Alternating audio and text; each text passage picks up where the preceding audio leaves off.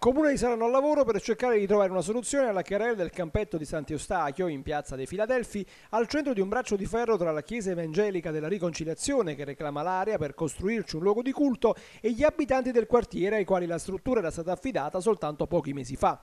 Domenica 29 marzo, infatti, l'amministrazione aveva consegnato il campetto ad un'associazione della zona per la vigilanza e la manutenzione quotidiana dopo una serie di lavori di riqualificazione. In quell'occasione erano state rifatte recensione, porte, il manto di gioco, un campetto da tempo atteso dagli abitanti che per anni si erano lamentati del degrado nel quale versava la struttura. Una gioia durata però soltanto pochi mesi.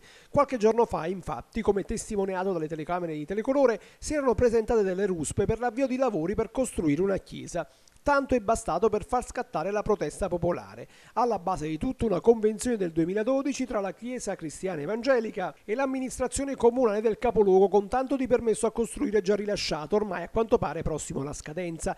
Da qui la necessità di avviare i lavori provocando però la reazione degli abitanti. Della questione si stanno occupando diversi uffici, tra i quali anche quello dell'assessorato alle politiche sociali. Savastano del resto aveva partecipato anche all'inaugurazione del campo a marzo scorso curando l'affidamento all'associazione Amici della Juve Scuola. L'idea è quella di chiedere alla Chiesa Evangelica della Riconciliazione di occuparsi del trasferimento del campo per non privare il quartiere della struttura. Gli uffici del comune hanno inizialmente valutato l'idea di spostarla di pochi metri, restando nell'area del parcheggio di Piazza dei Filadelfi, ma sarebbero sorti problemi di autorizzazioni e permessi che avrebbero allungato i tempi, con il risultato che sarebbe potuto servire anche un anno per ultimare la pratica.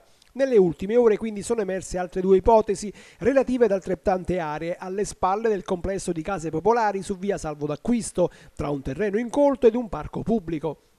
L'amministrazione sarebbe intenzionata a scegliere la soluzione più facile che consenta di spostare in poche settimane il campo senza dover ricorrere ad esproprio o particolari procedure burocratiche. I lavori consegnati a marzo scorso comunque avevano interessato, come dicevamo, diversi aspetti del campetto di Piazza dei Filadelfi, ad iniziare dalle misure della superficie di gioco allungate di 4 metri, il drenaggio, il ripristino del manto in terra battuta ed ancora la sostituzione della rete di recinzione e l'installazione di un nuovo cancello e due porte da gioco per un costo di 15.000 euro, materiale che il comune intende quindi ora recuperare in gran parte per la nuova struttura.